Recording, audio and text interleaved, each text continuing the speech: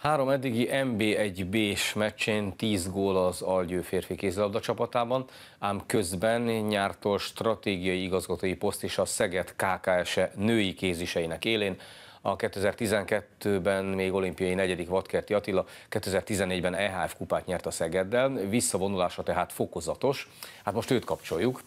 Szia, jó reggelt kívánok! Jó reggelt kívánok! Attila, hogy ízlik az új feladat? Először is egy picit módosítanék itt a csapat nevét illetően, hiszen az még elég friss hír, és nemrég lett bejelentve, hogy a, a Van egy új főszponzor. Így van, PC Trade Szeged KKS néven indulunk most már, és szerepelünk a Magyar Kézilabda Szövetségnél. Úgyhogy ez is a, az egyik fő része volt annak a, a munkának, amit ugye elkezdtem a női csapatnál, és, és ugye ez is ahhoz tartozik, hogy a csapatnak minél biztosabb háttere legyen, és ezért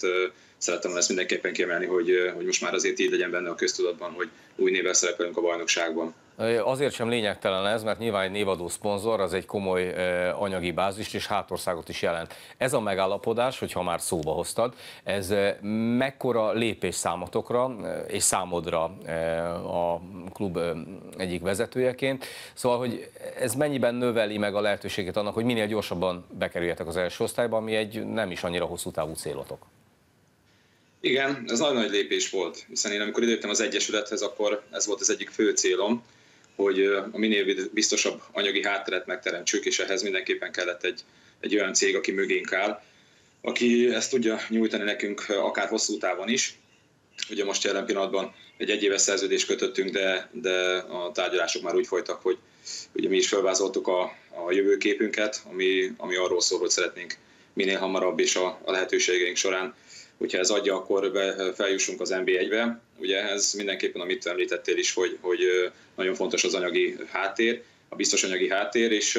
ehhez ez kell, hogy, hogy ilyen szponzorok is, illetve ilyen támogatók mögénk álljanak, és ez lesz az egyik feladatom, illetve ez már a feladatom, amióta elkezdtem itt a, a, a PCT Szeged KKS-nél dolgozni, hogy, hogy azt amellett, hogy a lányok nyugodtan tudjanak dolgozni, amellett nekünk már az a célunk, hogy a jövőt is tudjuk építeni.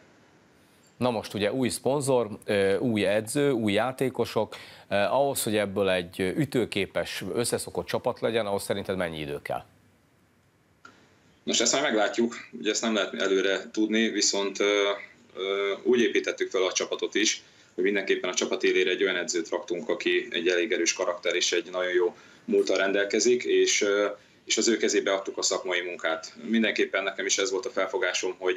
nem feltétlenül szeretnék belekívánni a, a szakmai dolgokba, hiszen attól függetlenül, hogy kézlabdás voltam, nem biztos, hogy azt a részét is annyira tudnám csinálni, illetve nem is szeretnék beleszólni. Ezért a Vakoboti személyében találtunk egy olyan edzőt, aki nagyon jól összeszedte a gárdát, ez mi sem mutatja jobban, hiszen az elmúlt fordulóban is az egyik nagy riválisunkat, az Egert sikerült megverni nagyon magabiztosan, Úgyhogy uh, itt a, az építkezés az arról szól, hogy, uh, hogy megfelelő embereket megfelelő helyre tudjunk tenni, és azt gondolom, hogy most uh, ennek az útnak az elején vagyunk, viszont ahogy halad a csapat, uh, ez talán kicsit visszajelzés számunkra is, hogy, hogy uh, eddig ezt jól csináltuk, viszont uh, egyáltalán nem szabad elbízni magunkat, hiszen én is tapasztaltam már tavaly az NBA egy vében, hogy bárhol megy a csapat idegenbe, ott mindig egy nagy beszéd jelent a hazai csapat, és hát ez ugyanúgy a lányokra is érvényes, hiszen itt nincs olyan, hogy kis mérkőzés. Itt minden mérkőzés meg kell nyerni, és főleg egy olyan csapatnak, aki, akik mi vagyunk, hiszen ugye szeretnénk megnyerni, és az a, a fő célunk, hogy megnyerjük a bajnokságot, akkor nem szabad semmelyik mérkőzés sem félváró venni, és nem is lehet, hiszen, mint mondtam, tavaly is voltak kellemetlen meglepetések az NB1-ben, amin akár a, a bajnoki cím is múlhat, viszont én úgy gondolom, hogy a lányok felfogása is, és amit a Boti már az elején tisztázott velük, hogy, hogy úgy fog velük edzeni, mintha egy egyes csapat lennénk, hiszen későbbiekben, hogyha ez sikerül, akkor utána nem kell egy szemléletet váltani. Na most megütötte itt valami a fülemet, amikor Bakó Botond vezetőedzőt először szóba hoztat, hogy nem akarsz belefolyni a szakmai munkába, annak helyére sem, hogy egykor kézilabdás voltál. Na de hát nem csak egykor voltál kézilabdás, most hogyan osztod meg a munkáidra fordított, meg a hát nem csak munkáidra, hanem a szenvedélyedre fordított időt, szóval, hogy hétközben Szegeden a női klubnál igazgatóskodás, hétvégén meg kint jön a szélen a játék? Ezt most úgy tudtam megoldani, nem, először is nem szélen, hanem irányítóban. Most már irányító, igen. Igen, igen, igen, igen, játékéhes voltam, úgyhogy mindenképpen szerettem volna egy kicsit szerepet váltani, de ezt úgy tudtam megoldani, hogy tavaly év azért az, az nagyon nehézkes volt, hiszen nagyon sok edzést bevállaltam, illetve a a mellette a munkámat is csinálni kellett, így a gyerekekre nagyon kevés idő maradt, és ezt nem szerettem volna így folytatni. Úgyhogy talán egy picit az edzésekből visszavettem, és ezért tudok a több időt a családdal tölteni. Az azt jelenti, hogy hétvégén ugye algyővel mérkőzéseink vannak, amennyiben nem ütközik a két mérkőzés, akkor, akkor a lányok mérkőzésén is kint vagyok, úgyhogy most mondhatom azt, hogy több időt töltök a csarnokban, vagy csarnokokban, mint amikor profi játékos voltam, de úgy gondolom, hogy ez összeegyeztethető, hiszen egy, hogy el is sportos család vagyunk, a feleségem is kosárlabdázott NB1-ben is nagyon akceptálja ezeket a dolgokat, és hát a gyerekeim is sportőrültek, úgyhogy ha azt mondom, hogy a csarnokba kell menni, akkor, akkor általában ez csak üdrivalgást tör ki, hiszen, hiszen ők nagyon jól ismerik, mondhatom, hogy ott nőttek föl, úgyhogy ezt a családi programot összepróbáljuk egyeztetni azzal, hogy a nevezzük úgy munkának is, de az olyan szerencsés helyzetben vagyok, hogy a, hogy a munkám a hobbim, Úgyhogy amikor játszani kell, akkor a család megnéz engem, amikor meg a lányokat kell nézni, akkor az egész család megy együtt. Na, ez egy kellemes helyzet. Most azt mondnak, hogy ebben a helyzetben ugye azért viszont lehet a e, Vadkerti Attila személyében egy belső versenyfutás is. Tehát Vadkerti játékos versenyezhet, Vadkerti direktorral gondolok arra, hogy a női csapata jut-e fel hamarabb az első osztályba, vagy pedig a csapat, ahol irányító, amelyikben játszik, az e, nyeri -e meg a másodosztályú bajnokságot, mint tavaly tette. De hogyha az Algyő e, első lenne, akkor visszapasszolná az NB1-es lehetőséget most is? Nem tudom, ebben azért nem tudok erre mit mondani, hiszen ott teljesen 100%-ban csak játékos vagyok, úgyhogy ez Bellárpádon a klubnak az elnökén múlik, hogy esetleg idén már sikerül úgy összehozni akár az anyagi hátteret is, hogy tudjuk vállalni az NB1-et, viszont ahogy mondtam az előbb is, ez, ez azért annyira nem evidens, hogy mi fogjuk megnyerni a bajnokságot, sőt, Tavaly is úgy indultuk neki, hogy nézzük meg mi az, amit tudunk csinálni, és már március környékén már szinte eldőlt a bajnokság. Idén is nagyon jól kezdtünk, de, de azért csapatok nagyon beerősítettek, úgyhogy azt gondolom, hogy most még áldázabb harc megy majd az első helyért. Az, hogyha megnyerjük, akkor, akkor úgy gondolom, hogy ez, ez majd a folyamatában fogja eldönteni, hiszen itt szerintem végig egy kérezett helyzet lesz, és ezt majd csak májusban kell ezen gondolkozni, hogy melyik csapat jutott föl, és annak kell elgondolkozni azon, hogy az vállalja az nb tagságot. Oké, okay, de te ott játékosként az a célod, hogy minél jobban szerepeljetek, előzzétek meg a Fradit, a többi riválist, és aztán majd meglátjuk, hogy mi lesz, igaz? Azon törik a fejüket az ottani vezetők. Így van, ugye, ahogy mondtad is, ugye az első három fordulót nyertük, abban már volt két rangadó is, úgyhogy azt gondolom, hogy kicsit elraktuk idén is a névjegyünket, és a, a riválisoknak, akár ahogy említetted a, a Fradit is, ugye megmutattuk azt, hogy idén is nagyon jó erőt képviselünk, de, de ez tényleg nem jelent semmit, hiszen, mint mondtam, ez itt a, nevezzük úgy kis csapatoknál is, hogy idegenbe megyünk, akkor is mindig nagyon veszélyes, és ott is lehet elgulajtani pontokat,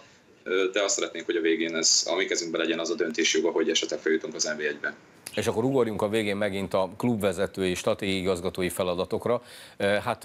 a stratégiai igazgatónak kell legyen stratégiája, és ez nyilván nem csak egy évre szól nem tragédia, nem lenne tragédia, hogyha most klubépítésben az első évben nem sikerülne a feljutás, akkor azt mondanátok, hogy a következőben legyen már kötelező? Szóval, hogy milyen jövőképed, jövőképetek lehet a női klub előtt a következő, mondjuk azt három-négy évben? Igen, jó fogalmaztál egyébként, illetve azt mondom, hogy tényleg nem tragédia, hiszen hogyha nem gyerünk meg az NB1-B-t, akkor, akkor mondhatjuk azt is, hogy nem vagyunk valók az NB1-be és uh, akkor viszont látni fogjuk, hogy mi az, amit változtatni kell, és mi az, amit építeni kell. Ugye azt tudni kell, hogy tavaly is mondhatjuk úgy, hogy az élmezőnyben végez, végzett a csapat, és ahhoz igazoltunk még játékosokat, akik, akik talán egy kis rutint hoztak a, a csapathoz még, és, és hát ez is a tervnek a része. Ugye akár a Boti személye is, amikor erről beszélgettünk, akkor felvázoltuk neki, hogy, hogy szeretnénk ezt hosszú távon jól csinálni, és úgy csinálni, hogy minél hamarabb az NB1-be legyünk, és utána meg ugye lépcsőfokonként lépjünk fölfelé, és majd egyszer talán a Győre játszunk egy bajnoki döntőt. Természetesen ez messze menő termék, de, de a rövid távú tervünk az az volt, hogy idén nézzünk előre,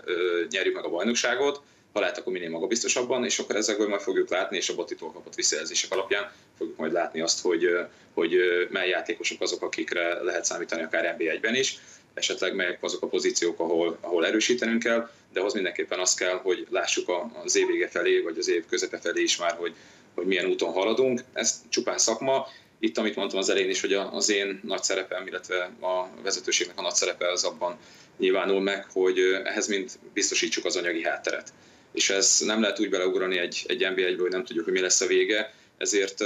ezért nekünk is ezen is el kell majd gondolkozni, hogy, hogy milyen stratégiával lépünk esetleg, ha az NB1-es tagság megvan, akkor milyen stratégiával lépünk be. Én nagyon bízom abban, hogy ez év folyamán ez ki fog alakulni, mint ahogy a lányok is nagyon jól szerepelnek, így szeretnénk mi is ezáltal ugye egyre erősebbek lenni, és, és tényleg az, hogy a végén csak rajtunk múljon az, hogy esetleg NB1, és utána mondhatom azt, hogy ne is múljon rajtunk az NB1, hiszen akkor már minden olyan lehetőség meg lesz teremtve. Hát akkor a feladatok adottak, más nem kívánhatunk, mint akkor mindkét vadkert, illetve egy vadkerti két fronton álljon jót a hobbiáért. Jó munkát neked, köszönöm szépen, hogy itt voltál velünk. Nagyon szépen köszönöm, szép napot,